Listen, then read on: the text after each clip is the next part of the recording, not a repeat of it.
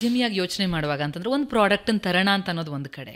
ಅದಕ್ಕೆ ಈ medical background ಅಂದ್ರೆ ಅದನ್ನ ಒಂದು ವೈಜ್ಞಾನಿಕವಾಗಿ ಒಂದು ಛಾಪ್ ಬೇಕಲ್ಲ ಒಂದು ಸೀಲ್ ಬೇಕಲ್ಲ ಎಸ್ ಇದು ಪ್ರೂವನ್ ಅಂತ ಅನ್ನೋದು. ಲ್ಯಾಬ್ಗೆ ಹೋಗ್ಬೇಕು. ಈ ಲ್ಯಾಬ್ಗೆ ಹೋಗುವಂತ ಒಂದು ಪ್ರಾಸೆಸ್ ಇದೆಯಲ್ಲ.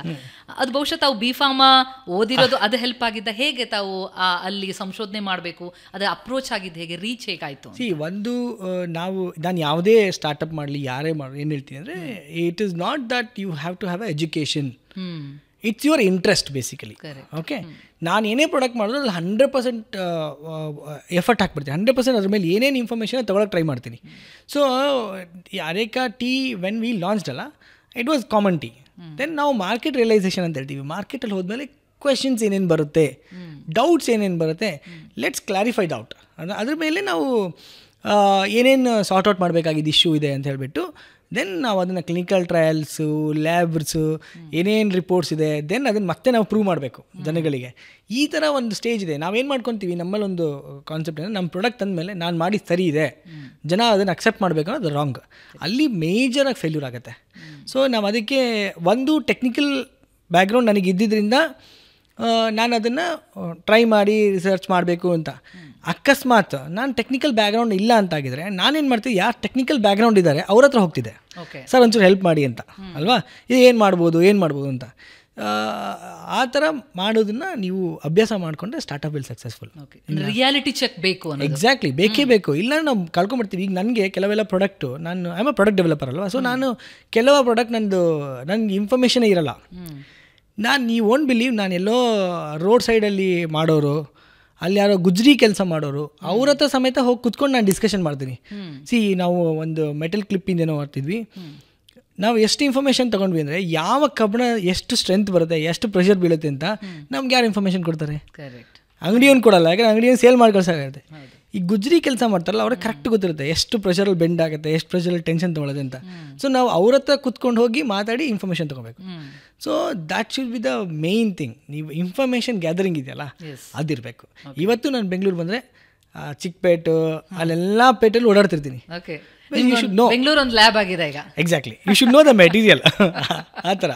ಬಟ್ ಈಗ ಉದ್ಯಮ ಒಂದು ದೊಡ್ಡ ಬಿಸ್ನೆಸ್ ಮಾಡ್ತಾರೆ ಅಂತಂದ್ರೆ ಸಾಮಾನ್ಯವಾಗಿ ಎಲ್ಲರ ಯೋಚನೆ ಏನಿರುತ್ತೆ?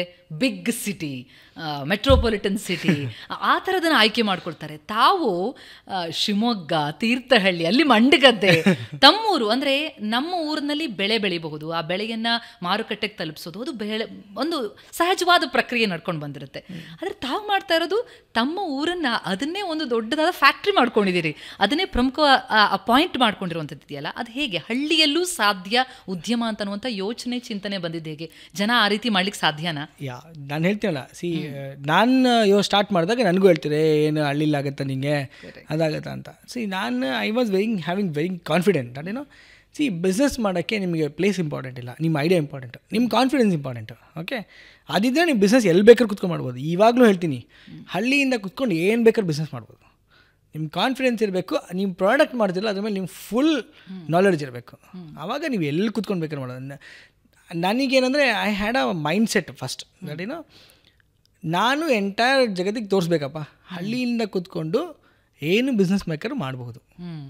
ಅದನ್ನು ನಾನು I was having my mindset strong mindset ನಾನು ಎಷ್ಟು ಜನ ಹೇಳಿದ್ರು ನನಗೆ ಬೇರೆ ಕಡೆ ಹೋಗಿ ಮಾಡು ಸಿಟಿಲಿ ಮಾಡು ಅಂತ. ಇಲ್ಲ. I wanted to start from the village and I will do it ಆರಂಭದಲ್ಲಿ ಸವಾಲುಗಳು ಏನೇನು ಕಂಡು ಅಂದ್ರೆ ನಿಮಗೆ ನೀವು ನಿಮಗೊಂದು ಯೋಚನೆ ಇತ್ತು ನಿಜ. ಆದರೆ ಅಲ್ಲಿನ ಸಪೋರ್ಟ್ ಬೇಕಾಗಿರುತ್ತೆ. ಒಬ್ಬರಿಂದ ಉದ್ಯಮ ಸಾ ಒಂದು ಐಡಿಯಾ ಬರ್ಬೋದು ಆದರೆ ಉದ್ಯಮ ಸಾಕಾರ ಆಗಬೇಕು ಅಂತಂದ್ರೆ ಸಪೋರ್ಟ್ ಬೇಕು. ಹೇಗೆ ಏನು ಎಲ್ಲ ಯಾವ ರೀತಿಯಲ್ಲಿ ನೀವು ಕಲೆಕ್ಟ್ ಮಾಡ್ಕೊಳ್ತಾ ಫಸ್ಟ್ ಆಫ್ ಆಲ್ ನಿಮಗೆ ಅಷ್ಟು ಇನಿಷಿಯಲಿ ಯಾರು ಸಪೋರ್ಟ್ ಮಾಡಲ್ಲ. It's a very common thing ನಾವು ಅದನ್ನ ಅರ್ಥ ಮಾಡ್ಕೊಂಬಿಡ್ಬೇಕು. ನಿಮ್ see don't make wrong your child is your child correct okay there is no emotions ಯಾಕಂದರೆ ಬೇರೆಯವರಿಗೆ ಅದ್ರ ಮೇಲೆ ಎಮೋಷನ್ಸ್ ಬರಲ್ಲ. ಓಕೆ ಸೊ ಆ ಥರ ನಿಮ್ಮ ಪ್ಲ್ಯಾನು ನಿಮ್ಮದೇ plan and no one will support you because at the ಸ್ಟಾರ್ಟಲ್ಲಿ ನಿಮ್ಗೆ ಯಾರು ಸಪೋರ್ಟ್ ಮಾಡಲ್ಲ. ಬಿಕಾಸ್ ಏನಾಗುತ್ತೆ ಅವ್ರಿಗೆ ಅದೊಂದು ಡಿಫ್ರೆಂಟ್ ಥಾಟ್ ಪ್ರೊಸೆಸ್ಸು ಅದಕ್ಕೆ ನಾವೇನು ಮಾಡ್ತೀವಿ ಫಸ್ಟ್ ಥಿಂಗ್ ಯಾರೂ ಸಪೋರ್ಟ್ ಮಾಡಿರಲ್ಲ ನಮಗೂ ಯಾರೂ ಸಪೋರ್ಟ್ ಮಾಡಿರಲಿಲ್ಲ. ಓಕೆ ಎಲ್ಲದು ನೆಗೆಟಿವ್ ಕಮೆಂಟ್ಸು ನೆಗೆಟಿವ್ ಪಬ್ಲಿಸಿಟಿ ಅದನ್ನು ಮಾಡ್ತಾನೆ ಇರ್ತಾರೆ. ಸೊ ಅದಕ್ಕೇನು ಮಾಡ್ತೀವಿ ಅದನ್ನೆಲ್ಲ ಯೂಶ್ವಲಿ ಅದನ್ನು ಕೇಳಿಸ್ಕೋಬಾರ್ದು.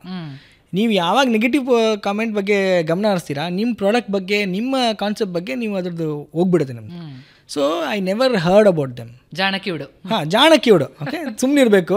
ಈಗ ನಾನೀಗ ನಾನೇ ಪಾಸಿಟಿವ್ ಮಾಡ್ಕೊತಿದ್ದೆ. ನಾನು ಹೆಂಗೆ ಅರೇಕ ಟೀ ಫಸ್ಟ್ ಬಿಟ್ಟಾಗ ನಮಗೆ ರಿವ್ಯೂ ಬೇಕಲ್ಲ. ಸೊ ಏನೇ ಹೆಂಗಾಗತ್ತೆ ಹೆಂಗೆ ಅಂತ. ಎಲ್ಲರಿಗೂ ಕೊಡ್ತಿದ್ವಿ ನಾವು. ಕೊಟ್ಟರೆ ಕುಡ್ದು ಕೆಲವರು ಈ ಹಳ್ಳೀಲಿ ಗೊತ್ತಾ ಹೆಂಗೆ ಹೇಳ್ತಾರೆ ಅಂತ ಏ ಎಮ್ಮೆ ಮುಸುರೆ ಇದ್ದಂಗಿದೆ ಇದು. ಆ ಥರ ಹೇಳೋರು. ನನಗೂ ನನಗೂ ಫಸ್ಟ್ ಫಸ್ಟ್ ಆಮೇಲೆ ಹ್ಯೂಮನ್ ರೈಟ್ ಸೊ ನನಗೂ ಬೇಜಾರಾಗೋದು. ಆಮೇಲೆ ಆಮೇಲೆ ಅಂದ್ಕೊಂಡೆ ನಾನು ಯಾಕೆ ಎಮ್ಮೆಗಳಿಗೆ ಕೊಡಬೇಕು? ಕುಡ್ದವರೆಲ್ಲ ಎಮ್ಮೆಗಳು. ನಾವು ಮನ್ಸಿಗೆ ಹುಡ್ಕೋಣ ಅಂತೇಳಿ ಮನ್ಸಿಗೆ ಹುಡ್ಕೋಕೆ ಶುರು ಮಾಡಿದ್ವಿ. See that's so you have to make positive so ಯಾರೇನು ಹೇಳಿದ್ರು ನನ್ನ ಪ್ರಾಜೆಕ್ಟ್ ನಂದು. ನಾನು ಮಾಡೇ ಮಾಡ್ತೀನಿ. ಒಂದು ಕಾನ್ಸೆಪ್ಟ್ ಇಟ್ಕೊಂಡು ಸ್ಟಾರ್ಟ್ ಮಾಡಿದ್ದು ಮೇಡಮ್ ಇವತ್ತು ಹಳ್ಳಿಲೇ ಇದ್ದೀನಿ. ಸೊ ಇವತ್ತು ಪರ್ಸೆಪ್ಷನ್ ಹ್ಯಾಸ್ ಚೇಂಜ್ ಅಲ್ವಾ? ಸೊ ಪರ್ಸೆಪ್ಷನ್ ಆಸ್ ಚೇಂಜ್ ಅಷ್ಟೇ. So comments publicity it is a part of life ನಡೀತಾ ಇರುತ್ತೆ. ನಡೀತಾನೆ ಇರಬೇಕದು ನಿಜ ನಿಜ.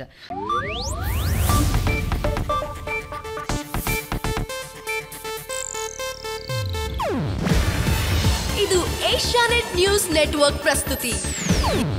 ನೀವು ನೋಡ್ತಿದ್ದೀರಾ ಏಷ್ಯಾನೆಟ್ ಸುವರ್ಣ ನ್ಯೂಸ್.